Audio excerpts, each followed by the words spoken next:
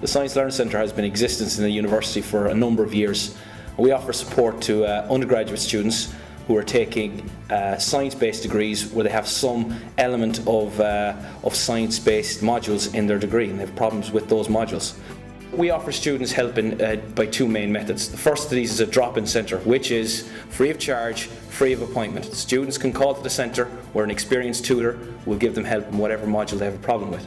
The second uh, way we help students is by arranging support tutorials. These tutorials complement the already existed lectures and tutorials the students already have in their timetable. So if a student wants an extra support tutorial, they simply send me an email requesting a support tutorial in the module. I arrange a room and a time and a tutor, and it's up to the students then to attend the support tutorial.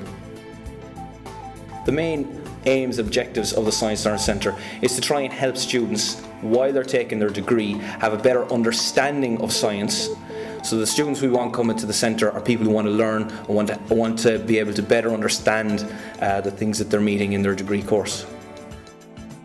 The importance of the Science Centre comes to the fore really from week three or week four. For example, many students that are uh, come into degree courses, especially in first year, may not have any experience within uh, science subjects such as physics, chemistry or biology at their at Leaving Cert level. So the Science Learning Centre offers those students that little bit extra help to help them through the modules they find most difficult when they're starting out in their uh, undergraduate um, experience. So if you as a student have any problems with, with any of your uh, science modules, you needn't worry, there's no charge, there's no fixed appointment, you can come in on a first come first served basis as the coordinator, would send an email out uh, on the first first day of each week, on Monday morning, to indicate to the students when the centre is open and what subjects will be covered at those particular times during the week in the centre. I also send emails to alert students of support tutorials on the date, uh, the, uh, the time and the location and what tutor is covering those modules.